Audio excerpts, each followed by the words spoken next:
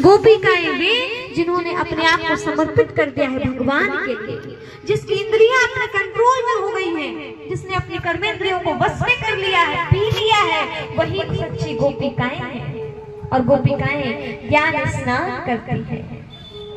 और ज्ञान स्नान करते करते अपने कपड़ों की सुदबुद भूल जाते हैं। कौन से कपड़े की? तो गीता जी ने कहा वासांस जीर्णानि यथा विहाय नवानि घृणाति नरोपराणि तथा शरीराणि विहाय जीर्णानि यानि शय्याति नवानि देहि वस्त्र को क्या कहा कपड़ा और शरीर को भी क्या कहा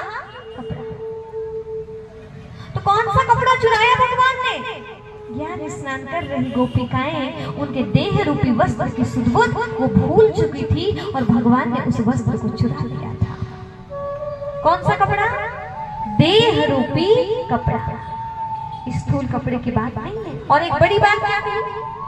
ये कपड़ा ही तो है जो तुम्हारे और हमारे मिलन में बाधक है। भगवान कहते हैं, ये देह का भान ही तो है जो तुम्हें आत्मा बनने नहीं देता। और जब तक तुम आत्मा नहीं समझोगी, तब तक तुम मुझसे मिलन कैसे मना पाओगी? नहीं मना पाओगी। तो ये कपड़ा है शरीर रूपी। भगवान कहते हैं, यदि तुम मुझसे सच्चा प्रेम करती हो ना तो देह का भान भूल कर निर्वस्त्र अर्थात आत्मा रूप में स्थित होकर मेरे करीब आओ। तो मैं तुम्हें अपना लूँगा। जैसे हैं, वैसे बन के उनके पास जाना होगा। भगवान, कैसे है?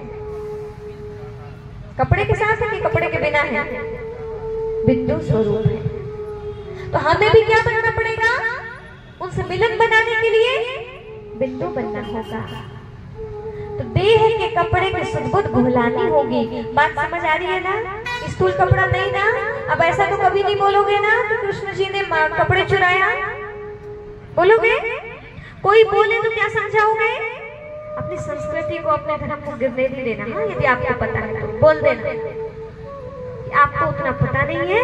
ये बात है देह रूपी कपड़े की और भगवान ने कौन से कपड़े चुराए? देह रूपी वस्त्र चुराया, शरीर रूपी वस्त्र चुराया, क्योंकि यही भगवान के साथ मिलन में बाधक बनता है। ये बात आप बता